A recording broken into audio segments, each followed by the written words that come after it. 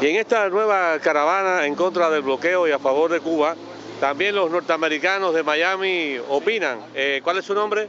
Me llamo Steve Horshell. Ajá, ¿por qué participa en esta caravana en contra del bloqueo? Pues es una lucha para justicia, justicia para la- los cubanos, para la revolución cubana, para todas las familias que están sufriendo bajo las, las temas de Helms-Burton y las otras leyes de bloqueo, de embargo, como decimos en Estados Unidos.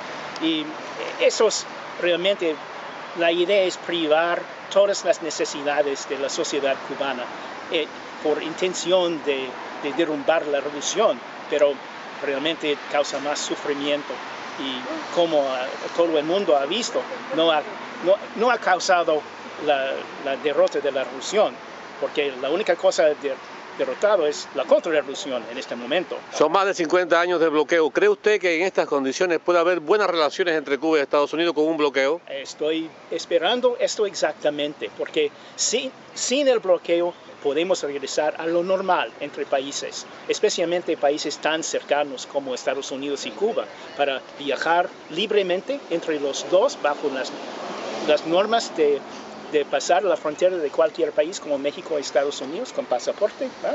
así, y invitarlo a... Que haya libertad de verdad, absoluta. Sí, Aquí tenemos otro norteamericano, no habla muy, eh, eh, muy bien el español, Me pero lo habla. defiendo, Bueno, pero, bueno, pero estoy aquí, es Bueno, muy importante. dígame por qué está aquí. Sí, Cuénteme, sí, ¿por qué? Acérquese para acá, por favor. ¿Por qué está aquí? sí, ya. Porque uh, yo creo que es muy importante que la gente trabajadora en estos países y otros países y la gente en Cuba uh, uh, ven que hay ellos como nosotros que uh, apoyan la revolución cubana y somos en contra del bloqueo. Elena, para que diga algo. al- El, el presidente de la Alianza Martiana también habla para Hermes América en español. Bueno, hoy se ha demostrado una vez más aquí en las calles de Miami que hace años nos hemos apoderado de ella y la mantenemos. Hoy tenemos una caravana sobre treinta y pico carros.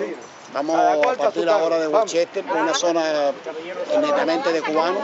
Hay un apoyo mayoritario de los cubanos ya con respecto al levantamiento del embargo y el bloqueo y de los viajes de todos los cubanos y, cuba- y ciudadanos norteamericanos a Estados Unidos.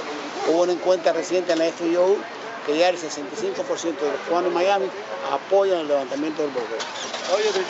Bien. Esperen, díganlo.